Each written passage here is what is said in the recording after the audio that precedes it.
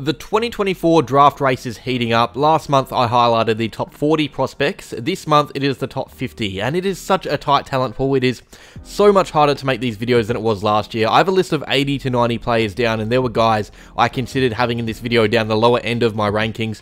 It is tight, so in saying that, let's get into my August draft power rankings. Starting with the top 10, now I think there's a solid 7 or 8 guys with about 3 or 4 others on the verge in this top 10 or 11. I think there's a strong top 11 this draft with a little sub group inside of that. Picking the number one pick is hard. I have Levi Ashcroft down. Now, I had him high before, but that VFL performance for Brisbane's reserves team really convinced me. He's shown plenty at this level. He's a ball-winning machine, but the fact he's now proven against men, that is a major tick, and the Lions fans will be licking their lips knowing he is joining their list. Sid Draper at two. He's been a mainstay in that South Adelaide team in the in the SANFL. He's a great midfielder, really rounded, Rolls-Royce type player. The reason I have him higher than most probably do is because of his leadership capabilities. He's captain his under-18 team, captain this state.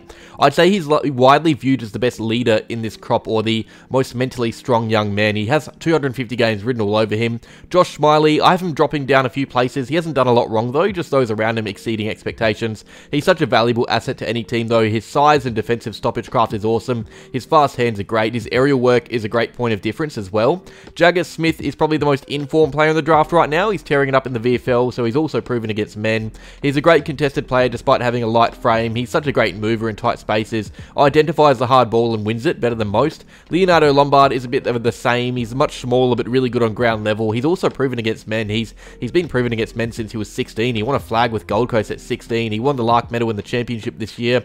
He has one of the very best resumes here. I don't know why he isn't rated higher than he is. Luke Trainor is the best non-midfielder in the draft. He's an aerial specialist, intercepting machine. He's one of the smartest players and a really good ball user too. It's valuable to have players like this, like James Sicily. They can intercept, but be trusted with ball in hand. Finn O'Sullivan at seven. He's got a very high ceiling, uh, but just hasn't put it all together in that midfield though. He's he's unbelievably rounded. So much to his game to like. Beau Allen at eight. WA boy, another terrific leader, future captain, really versatile player as well. Someone who's played down back, up forward, midfield, great size, high ceiling. Harvey Langford at nine. The other Larke medalist, uh, another big body, tall midfielder who, who can play up forward. He's been compared to Bontempelli a lot this year. He really stands up in big moments as well. And rounding out the 10 is Murphy Reid, explosive midfielder, dynamic in stoppages. He hits the ball with serious pace. He's hard to stop in full flight. Penetrating kick on him as well. And that's my top 10. It's pretty set in my eyes. There is one other player who I'll talk about in a second that I could see making his way in, but I think it's a pretty good top 10. Sam Lalor at 11. This is the guy I felt weird having outside my top 10, but it just shows how good the early stages of this draft are. He could be a real steal. He isn't flashy and exciting, but his defensive presence in stoppages is worth its weight in gold. He's a tackling machine. He's another big-bodied midfielder. Jobe Shanahan at 12, maybe recency bias, but when you're kicking 11 goals in three VFL games, you're getting noticed. He's a really prominent key forward, great size, great hands, great positional awareness, and he finishes his chances too. Uh, Toby Travaglia at 13, rebounding defender, really offensively minded. He can split a zone open on his own, and he can keep his opponent down in the process. Uh, the best general defender in the draft. Harry Armstrong, for most of the year, he has been the best key forward of the draft. I have him slightly behind Jobe Shanahan now, but he's still so good. His contested marking's a treat, and he really makes defenses pay. He makes the most of his chances and really stands up when it matters most. He's had some big games this year. Speaking of big, Alex Dodson, he's still tossing up between pro basketball and AFL. If he chooses AFL, he will be the best ruck in the draft. It's hard to find a ranking spot for him because he's so far ahead of other uh, rucks in this crop. He is so great around the ground. He moves so well. Pure athlete. He's going to be quite a few clubs keeping an eye on him. Isaac Kako at 16. He is the best small forward in the draft. He is so dynamic and fast. He wastes a lot of chances, but the fact he gets those chances is super promising. It's a bit like Nick Watson. You don't mind seeing him miss because you know he can clean that up and be a real threat in the future. Essendon NGA product, so they have access to him. He would have played for Essendon in the VFL if it wasn't for an untimely ankle injury. Christian Moraes, I was considering dropping him down the order, but then he went out and kicked five goals from 27 disposals for Eastern Rangers. He's an attacking midfielder. Alix Tauru at 18, smaller key defender, but his hops help him play on those bigger bodies. He's a great interceptor, great athlete, can also do a job on ground level thanks to his agility. I'm keen to see him test at the combine, and he's actually played up forward recently as well, proving his versatility to his game. It's why I've bumped him up a bit. Taj Hotton, that knee injury has him slipping down every month, unfortunately. He's another attacking midfielder. He was a top 10 hopeful before the injury, so he could be a bit of a steal for some clubs later in the draft if he does slide. Some will be worried about his body though. And Joe Berry rounding out the top 20, another really promising small forward, more damaging than Kako, and he is also pretty good in the air, which helps. Xavier Lindsay at 21, left-footed midfielder, really really great kick. You love the ball in his hands. He loves to wheel onto that left and bomb it long. He has a really penetrating leg on him. Uh, Jonty Faull at 22, another key forward, quite a few at this range. He is one that still hasn't really got to his best, so he could rise, but he's a really good presence forward to the ground.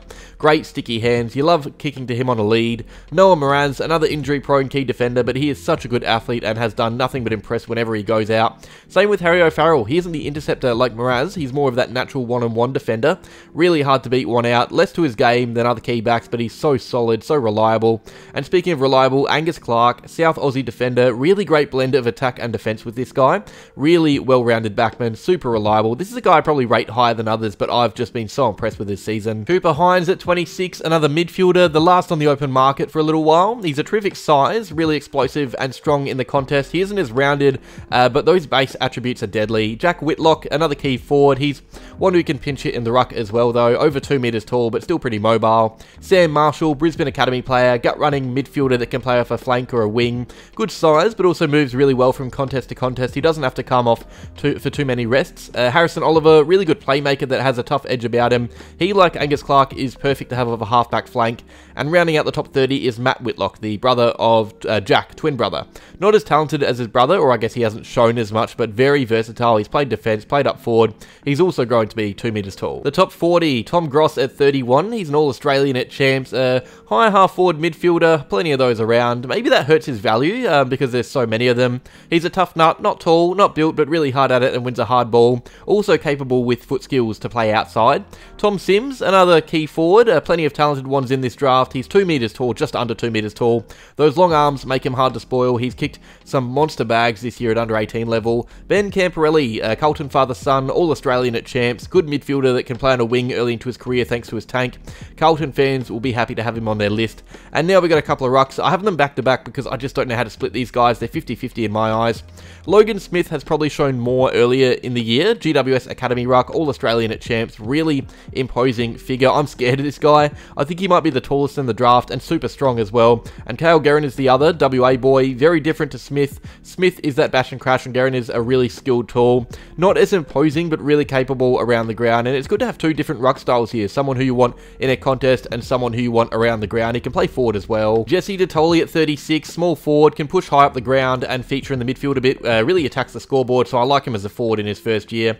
Tyler Welsh at 37, recency bias has him higher up than he was before this video. He kicked five goals in the SANFL, Adelaide Crow's father-son, great contested mark. Should be good for the future, especially after Tex is gone. Malakai Champion, super exciting prospect who I had sliding a few weeks back. He was in my top 60, I think, a, a week or two ago, but he has shown plenty in the WAFL lately, kicked multiple goals in his first three games. Really small, 172 centimetres, but super energetic, lightning fast, going to be a handful on ground level. West Coast Academy player. Uh, Ned Bowman, another small forward, he lit up social media when he took a massive specky before champs, highlighting his aerial capabilities. He's kicked 18 goals from 10 games for Nord's under 18 team.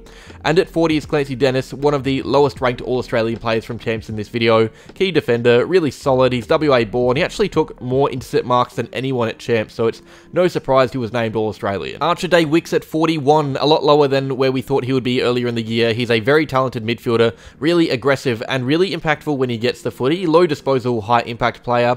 Adrian Cole is a key defender, St Kilda NGA I believe. Uh, he's a pure athlete, someone who will love the combine and, and probably rise the rankings after it. He's really quick, great shutdown speed. It makes getting space on him as a forward hard. Hamish Davis is a strong-bodied forward. He's been playing quite a lot of WAFL footy recently for Claremont. Lucas Camporeale, the twin brother of Ben, natural wingman. He's been getting quite a bit of the ball. He isn't as amazing with it, but consistently puts himself in dangerous areas both defensively and offensively.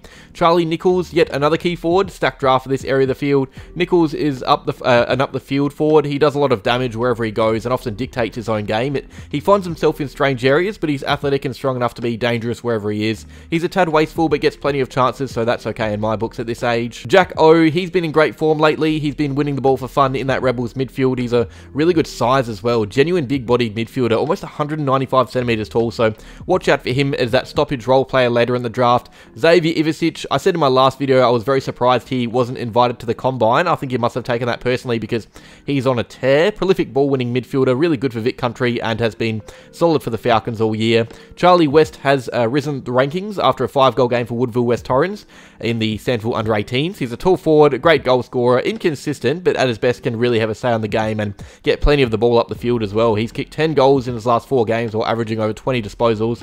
Jackson Artemis, he was named WA's MVP at Champs. Lightning fast rebound defender. He loves to run and gun. Really, really quick. One of the quickest in the draft, I would say.